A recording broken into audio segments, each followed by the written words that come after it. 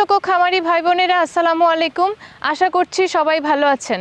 সবাইকে স্বাগত জানিয়ে শুরু করছি দীপ্ত কৃষির আজকের অনুষ্ঠান powered by Kazi farms co sponsored by A R Malik seeds দর্শক, দেখতে পাচ্ছেন গুড়ি গুড়ি বৃষ্টি পড়ছে আর এই বৃষ্টির মাঝেও আমরা দীপ্ত কৃষি টিম আজকে চলে এসেছি বাংলাদেশ কৃষি গবেষণা ইনস্টিটিউট রহমতপুর, বরিশালে।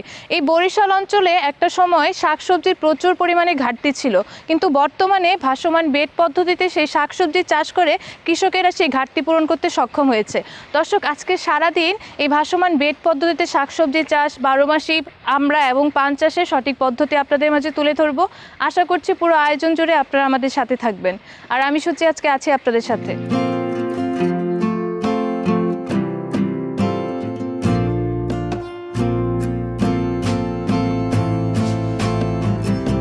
আসসালামু আলাইকুম কেমন আছেন? হ্যাঁ, ভালো আছি। আপনি ভালো?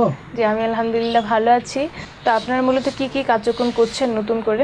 ভাসমান কৃষিতে আমরা অনেক দিন থেকেই আসলে কাজ চলতেছে বাংলাদেশের দক্ষিণ অঞ্চলের বিশেষ করে পিরোজপুরের নাজিরপুরের বৈঠাকাটা গোপালগঞ্জের অঞ্চলের যে জলজ যে জায়গাগুলো আছে আচ্ছা। এই জায়গাগুলোতেই এই ভাসমানের কার্যক্রম প্রচলিত আছে এবং এটা এই একদিনের না প্রায় দুইশো থেকে আড়াইশো বছর আগেই কৃষকরা করত। তাদের অনুযায়ী দুই হাজার সতেরোতে সতেরোর জুলাই থেকে বাংলাদেশ সরকারের একটা প্রকল্প ভাসমান বেডে সবজি ও মশলা চাষ গবেষণা সম্প্রসারণ ও জনপ্রিয়করণ প্রকল্প যেটা বিআরআই মানে বাংলাদেশ কৃষি গবেষণা ইনস্টিটিউট এবং কৃষি সম্প্রসারণ অধিদপ্তর এই দুইটার যৌথভাবে এই ভাসমানের কার্যক্রম চলছে। এবং এই চলার পরে আমরা সেই পুরনো ঐতিহ্যকেই বিজ্ঞানের ছোঁয়া লাগিয়ে আমরা এটাকে একটু মডার্ন করেছি এবং কৃষকরা যাতে এতে উপকৃত হয়। এবং অল্প খরচে তারা যেন ওইটা থেকে বেশি পরিমাণে উৎপাদন করতে পারে। সেজন্য এই প্রকল্প এবং বাংলাদেশ সরকারের কৃষি মন্ত্রণালয় এই প্রকল্প পরিচালিত হচ্ছে। প্রায় পাঁচ বছর আমাদের এই কার্যক্রম চলছে। বাংলাদেশের বিভিন্ন দক্ষিণ অঞ্চল উত্তর অঞ্চল মিলিয়ে কৃষি সম্প্রসারণ অধিদপ্তর এবং বাংলাদেশ কৃষি গবেষণা ইনস্টিটিউট যৌথভাবে এই একাত্তরটা উপজেলা কার্যক্রম চলছে। একটু জানতে চাই যে আপনাদের বরিশালে সবজি চাষের ক্ষেত্রে আগে কি অবস্থা ছিল আর ভাসমান বেডে সবজি চাষ করার পরে কি বর্তমানে কি অবস্থায় আছে? এটা একটু জানতে আসলে আমরা এই দক্ষিণ অঞ্চলটাই বিশেষ করে বিভিন্ন সময় ঝড় বৃষ্টি টর্নেডো অনেক সমস্যা হয় আপনারা জানেন। এবং এই বর্ষার সময় তো আমাদের বরিশাল অঞ্চলে সবজি আসলে খুব কম ছিল। আমরা সবসময় নির্ভরশীল ছিলাম বিশেষ করে যশোর অঞ্চল থেকে সকালে ট্রাক আসতো, সেই সবজি দিয়ে আসলে আমাদের এই অঞ্চল চলতো। কিন্তু এখন আমরা বিভিন্ন ধরনের যে সবজির উৎপাদন বেড়েছে, জাত বেড়েছে, সেই জাত বাড়ার জন্য আমাদের দক্ষিণ অঞ্চলে এখনও কিন্তু সবজির চাহিদা আমরা নিজেরা যে উৎপাদন করি, অনেকটাই এগিয়ে আসতেছে। এবং সেক্ষেত্রে ভাসমান কৃষি, বিশেষ পিরোজপুর অঞ্চল এবং এই বরিশাল অঞ্চল এবং গোপালগঞ্জ অঞ্চলেও এই ভাসমানের মাধ্যমে যে বেডগুলো তৈরি করা হয় সেই জায়গায় আমরা সবজি পাচ্ছি। এবং সে জায়গায় আমরা লাউ মিষ্টি কুমড়া শশা থেকে আরম্ভ করে আমরা মশলা জাতীয় মরিচ এই যে আমাদের মরিচ মরিচ যখন পানি পায় তখন মরিচ কিন্তু মরে যায়। কিন্তু এই ভাসমান বেডে আমরা আমরা গবেষণার মাধ্যমে পেয়েছি যে মরিচও আমরা সাত থেকে আট মাস কিন্তু আমরা ভাসমান বেটে রাখতে পারতেছি আচ্ছা। হলুদ করতে পারতেছি আদা করতেছি গ্রীষ্মকালীন পেঁয়াজও কিন্তু করতে পারি যে আমরা সবজি কাম ফিশ আমরা আচ্ছা। কেসের মাধ্যমে আমরা মাছও করতে পারতেছি আমরা এই যে আমাদের বাংলাদেশ কৃষি গবেষণা থেকে উদ্ভাবিত যে প্রযুক্তিগুলো এই প্রযুক্তিগুলো আমরা কৃষকদের মাঝে ছড়িয়ে দিয়েছি এবং কৃষকরাও খুব উদ্বুদ্ধ হয়েছে। আমরা বিভিন্ন সময় ট্রেনিং প্রোগ্রাম করি আমরা মাঠ দিবস করি আমরা উদ্বুদ্ধকরণ সফর করি। আচ্ছা এখানে তো অনেকক্ষণ বসে কথা বললাম অনেক ভালো লেগেছে আশেপাশে পরিবেশ এত সুন্দর। আশা করছি আমাদের দর্শকেরা অনেক ভালো লেগেছে। তো এই পাশটা ছাড়াও কি আরও অন্য পাশে কি ভাসমান বেডে সবজি আমাদের ভাসমানের কাছে আরও যে জায়গায় আমাদের গবেষণা চলছে সেই জায়গায় গেলে হয়তো আমরা আরও কিছু নূতনত্ব কিছু দেখব। চলেন সেখানে আমিও যাই আমাদের দর্শককেও দেখাই যে কি অবস্থা। থ্যাংক ইউ চলেন। চলেন।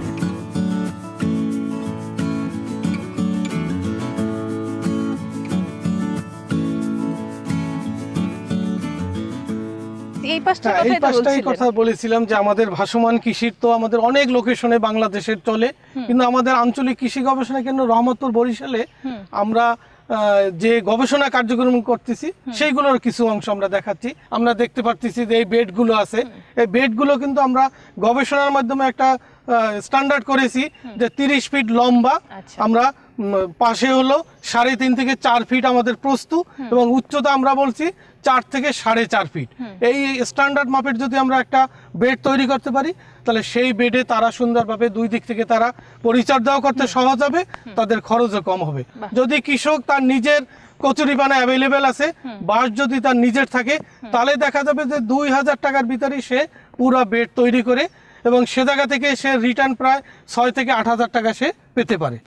হ্যাঁ, অল্প অনেক খরচে অল্প খরচে সে কিন্তু ডাবল লাভ পেতে পারে। জি হ্যাঁ, এখানে তো আমরা- অনেকক্ষণ এই ভাসমান বেড সম্পর্কে জানলাম এখন কি দেখাবে? হ্যাঁ আমরা এই যে ভাসমান দেখানোর পরে এইটা আমরা চাচ্ছি যে বাংলাদেশের সব জায়গায় ছড়িয়ে পড়ুক। আচ্ছা। আমাদের এই কেন্দ্রে আরও অনেক ফসল আছে সেগুলো আপনারা দেখতে পারবেন। তাহলে আপনার কাছ থেকে আপাতত বিদায় নিচ্ছি।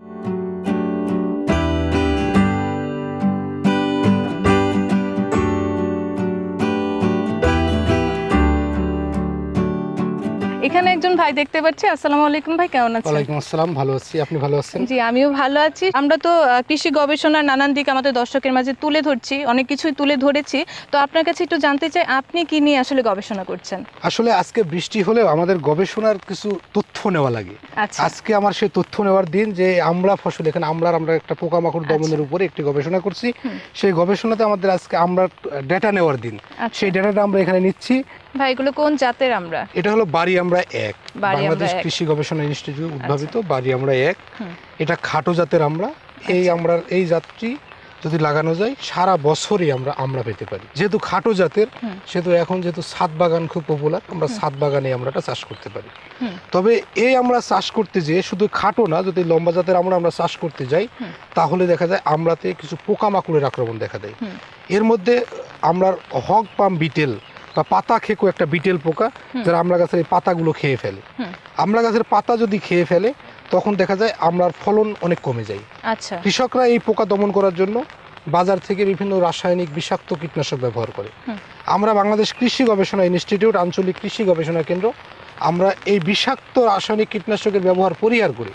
জৈব বালাইনাশক ব্যবহার করি এই পোকাকে দমন করার জন্য একটি চমৎকার প্রযুক্তি উদ্ভাবন করেছি এবং সেটা আমরা কৃষি সম্প্রসারণ অধিদপ্তরকে দিয়ে দিয়েছি এবং তাদের মাধ্যমে এই দক্ষিণ অঞ্চল সহ সারা বাংলাদেশের কৃষকদের আমরা এই প্রযুক্তিটা জানাচ্ছি। সেই প্রযুক্তিটা হলো এই হকপাম বিটেলের আচ্ছা। একটা পর্যায় মাটিতে চলে যায়। আচ্ছা। এবং মাটিতে যখন চলে যায় তখন এই পোকাটা কিন্তু আর খাওয়া দাওয়া করে না বা আপনার ফসলের কোনো ক্ষতি করে না।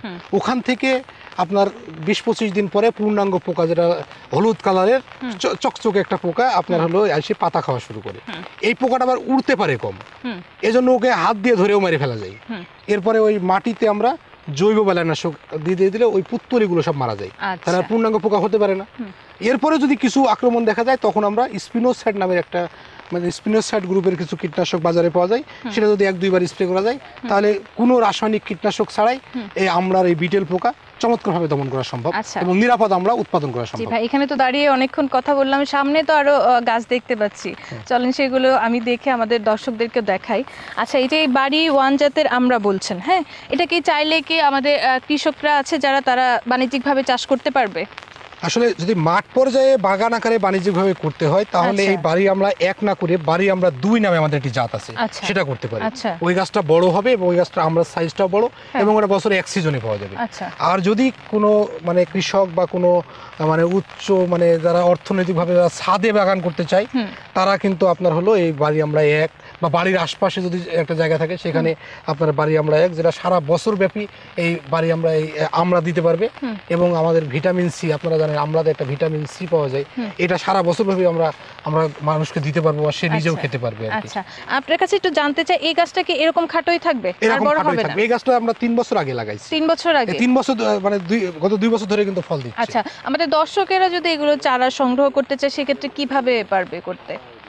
আমাদের বাংলাদেশ কৃষি গবেষণা ইনস্টিটিউটের মানে যে কোনো কেন্দ্র জয়দেবপুরেও নিতে পারে বরিশালের আমাদের আঞ্চলিক কৃষি গবেষণা কেন্দ্র থেকে আমাদের চারা নিতে পারে। আচ্ছা। বিভিন্ন নার্সারি এখন এই জাতের চারা মানে তারা করে আমাদের কৃষি সম্প্রসারণ অধিদপ্তরের হর্টিকালচার সেন্টার থেকে এই চারা সংগ্রহ করতে পারে সেক্ষেত্রে খরচ কেমন পড়বে প্রতিটি এটা আমাদের? সরকারিভাবে আমরা এটা পঞ্চাশ টাকা পার পিস আমরা বিক্রি করি। এই চারাগুলো সাধারণত আমরা গ্রাফটিং এর মাধ্যমে উৎপাদন করি। আমরা আচ্ছা। গ্রাফটিং করার এক বছরের মধ্যে আমরা এটা লাগাতে বলি। তাহলেই দেখা যায় এটা বা পরের বছরই এটা ফুল ফল আসা শুরু হয়ে যায় এবং আপনি দেখেন যে একটা গাছে ফলও আছে ফুলও আছে। হ্যাঁ। মানে এই ফলটা শেষ হবে আবার আপনার ওই ওই ফুল থেকে আবার ফল আসবে। এবার দেখেন বিভিন্ন সাইজের আমরাও আছে। এই যে আমরাটা দেখেন এই আমরাটা ছোট। এই- এই এইগুলো আবার বড়।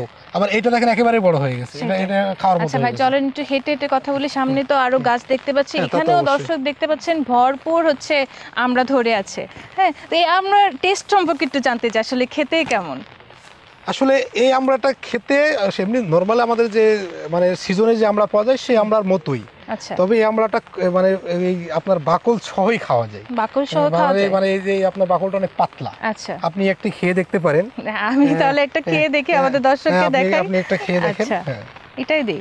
যেহেতু বৃষ্টি হচ্ছে এমনিতেই খাওয়া যাবে খেয়ে দেখি। খাওয়া যাবে কারণ এখানে কোনো আমরা রাসায়নিক কীটনাশক কখনোই দিই নাই। আচ্ছা। সেটা সম্পূর্ণ নিরাপদ। আচ্ছা। এটা আপনি নির্দ্বিধায় খেতে পারেন। টেস্ট ভালো। টক মিষ্টি মিক্সড একটা ব্যাপার আছে। জি জি জি। খুবই মজা আর খুবই ফ্রেশ। আচ্ছা। আর যেহেতু বললেন যে বারো মাসে আমরা বারো মাসে আমরা হলেও দর্শক দেখতে পাচ্ছেন আমরা সাইজ কিন্তু মোটামুটি অনেক ভালো। যে পরিমাণে হচ্ছে আমরা ধরে আছে মনে হয় যদি আমরা যদি আরও কম হয় তাহলে সাইজ তো আরও বড় হবে। হ্যাঁ আমরা যদি কম হয় আর- সাইজ বড় হবে। আমরা আমরা যেগুলো বড় হয়ে গেছে এগুলো আমরা সংগ্রহ করে নেব। আচ্ছা। আবার ছোটগুলো তখন বড় হয়ে যাবে। আচ্ছা। আর এখানে আমরার ফলন তো দেখতেই পাচ্ছেন। মাশাল্লাহ বেশ ভালোই এই যে এখানে দেখতে পাচ্ছেন একটা ডালে কিন্তু প্রচুর পরিমাণে আমরা ধরে আছে। হ্যাঁ আর এগুলো কিন্তু এখনও পরিপক্ক হয়নি না, এগুলো হচ্ছে আরও বড় হবে। এই যে এখানে নিচে দুটো দেখতে পাচ্ছেন এর সাইজও কিন্তু মাশাল্লাহ বেশ ভালো। একটু একটু হলুদ কালার দেখতে পাচ্ছি এগুলো কি কালার এমনই হয় হ্যাঁ ওগুলো পরিপক্ক হয়ে গেছে ওগুলো আচ্ছা। আমরা সংগ্রহ করব। এখানে তো অনেকক্ষণ আমরা দেখলাম মাশাল্লাহ অনেক ভালো লেগেছে খুবই ভালো লেগেছে। তো এখন কি দেখাবেন? এখন আসলে আমরা বিগত তিন বছর যাবত এই দক্ষিণ অঞ্চলে সহ সারা বাংলাদেশে পান ফসলের পান আচ্ছা। পোকামাকড় দমন ব্যবস্থাপনা নিয়ে আমরা কাজ করতেছি। সেটা অলরেডি আমরা একটি প্রযুক্তি উদ্ভাবন করেছি। সেই প্রযুক্তিটা আমরা এখন এই দক্ষিণ অঞ্চল সহ সারা দেশে ছড়িয়ে দিয়েছি। আচ্ছা। এবং সারা দেশের কৃষকরা এই পান ফসলের এই পোকামাকড় দমনের জন্য এই প্রযুক্তিটা ব্যবহার করছে। তাহলে চলে সেটা আমরা একটু দেখাতে পারি আমিও দেখে আমাদের দর্শকদেরকেও দেখাই। হ্যাঁ। জি চলেন আসেন।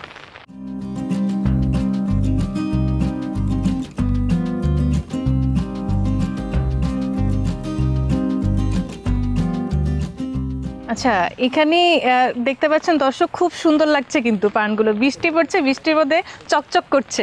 আচ্ছা ভাই একটু শুরুতে জানতে চাই যে এগুলো কি জাতের পান? বাড়ি পান দুই বাংলাদেশ কৃষি গবেষণা উদ্ভাবিত বাড়ি আচ্ছা। পান দুই। আচ্ছা এই সম্পর্কে একটু বিস্তারিত জানতে চাই। আসলে পান দক্ষিণ অঞ্চলের একটি খুবই গুরুত্বপূর্ণ ফসল। বাংলাদেশে প্রায় তেইশ হাজার হেক্টর জমিতে পান চাষ হয়। এর ভিতরে দেখা যায় মানে ছয় হাজার হেক্টর জমি হলো দক্ষিণ বরিশাল অঞ্চলে। আচ্ছা। এই পান কৃষকদের একটি খুবই অর্থকারী ফসল এবং এটা তার পারিবারিক ব্যাংক বলা হয়। কারণ সারা বছর এই পান ভাঙা যায় বিক্রি করে তাদের পারিবারিক চাহিদা কৃষকরা মেটায়। আচ্ছা। কিন্তু এই পান চাষ করতে যেয়ে কৃষকরা অনেকগুলো সমস্যার সম্মুখীন হয়। সেটা কি? যেমন পোকামাকড় এবং রোগ বালাইয়ের আক্রমণ। আচ্ছা। এবং এই পোকামাকড় এবং রোগ রোগবালাইয়ের আক্রমণ করতে যে কৃষকরা দেখা যায় কৃষি বিশেষজ্ঞদের কোনো পরামর্শ ছাড়াই বাজার থেকে রাসায়নিক বিষাক্ত কীটনাশক কিনে এসে এই পানি প্রয়োগ করে। এবং পানি প্রয়োগ করার পরে দেখা যায় আজকে প্রয়োগ করল আগামী দু একদিন পরে তাদের পান বিক্রি করার হাট। তখন তারা ওই পানটা ভেঙে তারা হলো হাটে নিয়ে যায়। মানে কীটনাশক সহ কীটনাশক সহ। আচ্ছা। আমরা এই বাংলাদেশ কৃষি গবেষণা ইনস্টিটিউট আমরা এই বাজার থেকে পান সংগ্রহ করে এই তিন বছর আগে আমাদের গবেষণাগারে পরীক্ষা করলাম। দেখলাম যে ওই পানের ভিতরে আপনার রাসায়নিক বিষের উপাদান রেসিডিউ যেটা বলা হয় সেটার উপস্থিতি থাকে। যেটা মানুষের স্বাস্থ্যের জন্য খুবই ক্ষতিকর। আচ্ছা। ওই বেসিস ওইটাকে পরিত্রাণের জন্য আমাদের কৃষি মন্ত্রণালয়ের মাধ্যমে আমরা একটা কর্মসূচি নিলাম। সেই কর্মসূচি নিয়ে আমরা যে পানে রাসায়নিক কীটনাশকের ব্যবহার সম্পূর্ণ পরিহার করি। একেবারে নিরাপদ জৈবিকভাবে জৈব বালাইনাশক আঠালো ফাদের ব্যবহারের মাধ্যমে আমরা পানের কালো মাছি নামে একটি পোকা আছে আচ্ছা। সেই পোকাটা দমনের জন্য একটা প্রযুক্তি উদ্ভাবন করেছি। একটা পোকায় হয় নাকি সেটা হলো ওই পানের জন্য একটা মারাত্মক পোকা পানের কালো মাছি পোকা। আচ্ছা। সেটা মানে দমনের জন্য আমরা জৈবিক একটা নিরাপদ দমন ব্যবস্থাপনা উদ্ভাবন করেছি। আচ্ছা। করার পরে সেটা শুধু যে আমাদের এই দক্ষিণ অঞ্চলেই না আপনি যদি উত্তরবঙ্গে যান রংপুর বগুড়া এখানেও কিন্তু এই প্রযুক্তিটি আমাদের কৃষি সম্প্রসারণের মাধ্যমে আমাদের এটা কৃষকের মাঝে সম্প্রসারিত হচ্ছে। আচ্ছা। তো সেই জৈবিক প্রক্রিয়াটা কি? সেই জৈবিক প্রক্রিয়াটা হলো আসলে কালো মাছি পোকা যেটা পূর্ণাঙ্গ পোকা সেটা আবার হলুদ রঙকে খুব ভালোবাসে। আচ্ছা হলুদ রং তো এই কারণে আমরা এই যে দেখেন এখানে আমরা হলুদ কিছু আপনার হলো হলুদ কিছু এই যে ডিব্বা দিয়ে দিয়েছি। এখানে আমরা এই এই ডিব্বার উপরে হলুদ রং করে দিয়েছি। আচ্ছা। রং করে দেওয়ার পরে এখানে আমরা মবিল লাগাই দিয়েছি। মোবিল লাগাই দিলে যেহেতু তারা হলুদ রঙকে ভালোবাসে আচ্ছা। এই জন্য দেখেন এই যে কালো কালো ছোট ছোট যে সমস্ত এখানে, এগুলো সব কালো মাছি পোকা। এখন এই পোকাগুলো আবার সারা বছরই পান বরজে থাকে না। আচ্ছা। এই পোকাগুলো দেখা যায় যখন ওই যে আপনার গরম পড়া শুরু হয় আপনার চৈত্র বৈশাখ মাসে বা ইংরেজিতে যদি বলা যায় মার্চ এপ্রিল মে মাসের দিকে এই পোকাটা আসা শুরু হয়। আচ্ছা। তখন আমরা এই আঠালো ফাঁদ দিয়ে থাকি এবং পোকা যখন এখানে পড়ে যায় তখন আমরা এর কিছু জৈব বালাইনাশক বাংলাদেশে এখন রেজিস্ট্রেশন পেয়ে গেছে। আচ্ছা। এর ভিতরে একটা ডি লেমোনিন নামে একটি জৈব বালাইনাশক বায়োক্লিন নামে বাজারে পাওয়া যায়। আচ্ছা। আর এটা হলো ফিজিমাইট এটা আচ্ছা। একটা সোডিয়াম লরাইল ইথার সালফেট এইটা যদি আমরা প্রয়োগ করি তাহলে দেখা যায় যে আপনার এই কালো মাছি পোকা রাসায়নিক কীটনাশক ছাড়া চমৎকার ভাবে দমন করা সম্ভব। এবং এই কালো মাছি পোকাটা আসলে করে কি? করে যে এখানে কালো মাছি পোকা আছে। আচ্ছা এই যে কালো। মাছি পোকা হ্যাঁ? হ্যাঁ। এরা করে কি এই যে পাতার উল্টা পিঠে এরা বসে এই পাতার রসটা খেয়ে ফেলে। আচ্ছা এখানে। এই হ্যাঁ আমাদের দর্শককে হ্যাঁ, দেখাই। এই- যে এই যে কালো মাছি পোকা এটা কালো ছোট খুবই ছোট দেখতে খুবই ছোট কালো মাছি পোকা এরা উড়ে বেড়ায় হ্যাঁ? এবং এদের মানে মূলত এই পোকাগুলো হচ্ছে পানের অপর পাশে উল্টা পাশে উল্টা পাশে থাকে উল্টা আচ্ছা। পাশে থাকে এবং থাকার পরে এই যে এখানেও আছে। এই যে এখানেও আছে, দেখতে পাচ্ছেন, হ্যাঁ? এই যে। এখানেও আছে। এখন এরা করে কি পাতার রসগুলো খেয়ে ফেলে? যে এগুলো যে দেখতে পাচ্ছেন এই যে এগুলো কিন্তু নড়ছে এই যে হ্যাঁ, হ্যাঁ। একটা উড়ে চলে গিয়েছে। হ্যাঁ পাতার রসগুলো খেয়ে ফেলে হ্যাঁ। তো পরে পাতাটা কোকড়ায় যায়। আর পানের পাতা যদি কোকড়ায় যায় পানে যদি একটা দাগ পড়ে যায় তখন কিন্তু ওই কেউ এই পানটা আর কিনবে না। হ্যাঁ। তখন এটা মানে বাজার মূল্য কমে যায়। এটা পরিত্রাণের জন্যই আমরা ওই যে নিরাপদ একটা প্যাকেজ তৈরি করেছি যে আপনার এপ্রিল মে মাসে আমরা হলুদ আঠালো ফাঁদে ব্যবহার করব। তারপরে ফিজিমাইট বা বায়োক্লিন নামে যে জৈব কীটনাশক পাওয়া যায় সেটা আমরা এখানে যদি প্রয়োগ করা যায় তাহলে রাসায়নিক কীটনাশক যেমন আপনার ইমিটা ফাইটার টিডো মার্শাল এই যেগুলো কৃষকরা ব্যবহার করে এগুলো ছাড়াই কোনো আচ্ছা। রাসায়নিক কীটনাশক ছাড়াই আমরা নিরাপদ উপায়ে পান দমন করতে পারি পানের আচ্ছা। পোকা দমন করতে পারি আচ্ছা। এছাড়াও পানে আরেকটা সমস্যা হয় রোগের সমস্যা হয় কি রোগ সেটা সেটা হলো এই যে বর্ষা আজ যেমন বৃষ্টি হচ্ছে আজকে না তো প্রচুর বৃষ্টি হচ্ছে বর্ষাকালে দেখা যায়। পানের লতাগুলো পচে যায় পচে যায়। হ্যাঁ, পচে যাওয়া মানে তো হচ্ছে গাছেই মারা গাছই মারা যায়। আচ্ছা। এইটা কৃষকদের একটা খুবই মারাত্মক সমস্যা। আচ্ছা। এই লতা পচার জন্য আমরা করি কি আমাদের কিছু আপনার ট্রাইকোডার্মা আছে হ্যাঁ? আচ্ছা। ট্রাইকোডার্মা বায়োডার্মা এইগুলো ডিকোপ্রাইমা বা সয়েল রিচার্জ নামে লাইকোম্যাক্স এইগুলো আমরা পান যখন মাটি উঠাই দিই তখন আমরা প্রয়োগ করে দিই। আচ্ছা। তাহলে দেখা যায় যে পানের লতা পচার রোগটা এটা আপনার হলো অনেক অংশে কমে যায়। এবং এই কাজটা আমরা করি বর্ষার মানে বর্ষা শুরু হওয়ার আগেই। হ্যাঁ আপনার সাথে কথা বলে অনেক ভালো লাগল। আশা করছি আপনার মাধ্যমে আমাদের দর্শকেরা আজকে অনেক কিছু জানতে পেরেছে। আপনাদেরও ধন্যবাদ যে আপনারা এই বৃষ্টির মধ্যে আমাদের এই গবেষণা কার্যক্রম আপনাদের টেলিভিশনের মাধ্যমে সম্প্রচার করবেন যার ফলে আসলে কৃষক সম্প্রসারণ কর্মী বিজ্ঞানী সবাই উপকৃত হবে বলে মনে করি। আপনাদের অসংখ্য ধন্যবাদ। জি আপনার কাছ থেকে আজকে বিদায় নিচ্ছি। আপনাদের আঞ্চলিক কৃষি গবেষণার মুখ্য বৈজ্ঞানিক কর্মকর্তার সাথে এখন আমি কথা বলব। আপনি ভালো থাকবেন। আপনিও ভালো থাকবেন।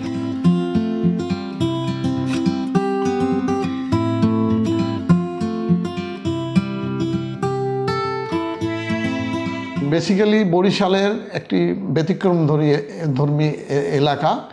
আপনারা জানেন যে বর্তমানে যে পরিবর্তনশীল আবহাওয়া যে হচ্ছে ক্লাইমেট চেঞ্জ যেটা বার্নিং ইস্যু তার পরিপ্রেক্ষিতে এই অঞ্চলটা বরিশালে অ্যাকচুয়ালি লিড দিচ্ছে বরিশাল অনেকগুলি জেলার। তারপরে বরিশাল, পটুয়াখালী, বরগুনা, ঝালকাঠি গোপালগঞ্জ, এই, এইসব এরিয়ার টোটাল দক্ষিণ এরিয়ার এখান থেকেই গবেষণা পরিচালিত হচ্ছে। সেক্ষেত্রে এই যে দক্ষিণাঞ্চলে যে বিভিন্ন জলবায়ু পরিবর্তনের ফলে যে সমস্যাগুলি আসতেছে সেই সমস্যার উপর ভিত্তি করে আমাদের এই কেন্দ্র থেকে বিভিন্ন গবেষণা কার্যক্রম পরিচাল পরিচালিত হয়, যার ফলাফল আমাদের বিভিন্ন কৃষক, প্রযুক্তি কৃষকদের মধ্যে ছড়িয়ে দেওয়া হয়, যার ফলে কৃষকরা তাদের উৎপাদন বৃদ্ধি করে, করতে পারে। সাথে সাথে তাদের উৎপাদন বৃদ্ধির মাধ্যমে তাদের আর্থসামাজিক অবস্থা উন্নয়ন ঘটাতে পারে এবং বর্তমান সরকারের বর্তমান প্রধানমন্ত্রীর যে নির্দেশনা যে খাদ্য পুষ্টিতে আমরা সম্পূর্ণ হব সংসম্পূর্ণ হব। সেই পরিপ্রেক্ষিতে আমাদের বিভিন্ন খাদ্য পুষ্টি নিশ্চয়তা প্রদানের জন্য কৃষকরা যাতে তাদের নিজস্ব জমিতে উৎপাদন করতে পারে বিভিন্ন ফসল, সেই বিষয়ে সার্বক্ষণিক আমাদের বিজ্ঞানীরা অত্র কেন্দ্রের বিজ্ঞানীবৃন্দ অনলস পরিশ্রম করে যাচ্ছে এবং সাথে সাথে তারা সেই প্রযুক্তিগুলি কৃষকদের মাঝে ছড়িয়ে দেওয়ার চেষ্টা করছে। আমাদের ভবিষ্যৎ পরিকল্পনা আরও ব্যাপক, এই ক্লাইমেট চেঞ্জের কারণে আমরা যাতে আমাদের ফসল ফলাতে পারি, ভবিষ্যতে বাধাগ্রস্ত না হয় সেই জন্য ক্লাইমেট চেঞ্জের সাথে সাথে খাপ খাওয়ানোর জন্য বিভিন্ন প্রযুক্তি উদ্ভাবন করার চেষ্টা করতেছি এবং বিভিন্ন ধরনের রোগবাদী কন্ট্রোলের জন্য আমরা কিন্তু আধুনিক প্রযুক্তির ব্যবহার করতেছি, যার ট্রায়ালও এখানে হচ্ছে। আপনারা জানেন, ইতিমধ্যে কৃষি গবেষণা চারটি বিটি বিরিঞ্জালের জাত উদ্ভাবন করেছে। আমরা এভাবে আধুনিক সারা বিশ্বের সাথে তাল মিলিয়ে আমরা আধুনিক প্রযুক্তির মাধ্যমে জাত উদ্ভাবন করব এবং সেগুলি কৃষকের মাঝে ছড়িয়ে দিয়ে আমাদের খাদ্য পুষ্টি নিরাপত্তা নিশ্চিত করতেই হবে। কৃষি বিষয়ে যে কোনো তথ্য জানতে ও জানাতে লিখতে পারেন এই ঠিকানায়। দীপ্ত কৃষি, প্লট, সাত বাই এ, বাই গ, তেজগাঁও শিল্প এলাকা, ঢাকা, এক দুই শূন্য আট। আপনারা চাইলে ইমেল করতে পারেন কৃষি অ্যাট দীপ্ত ডট টিভি এই ঠিকানায় অথবা ফোন করতে পারেন শূন্য এক সাত আট সাত ছয় আট দুই আট তিন দুই নম্বরে শুক্রবার ছাড়া প্রতিদিন সকাল নয়টা থেকে বিকেল পাঁচটা পর্যন্ত দর্শক, আজকে সারাদিন বাংলাদেশ কৃষি গবেষণা ইনস্টিটিউট রহমতপুর বরিশালের ভাসমান বেড পদ্ধতিতে শাকসবজি চাষ, বারো মাসে আমরা এবং পান চাষে সঠিক পদ্ধতি আপনাদের মাঝে তুলে ধরেছি। আশা করছি আপনাদের ভালো লেগেছে। আপনাদের সবার প্রতি শুভকামনা রেখে আজকের মতো বিদায় নিচ্ছি। দীপ্ত কৃষির অনুষ্ঠান থেকে powered by Kazi farms co sponsored by A R Malik seeds সবাই ভালো থাকুন, সুস্থ থাকুন। আল্লাহ হাফেজ।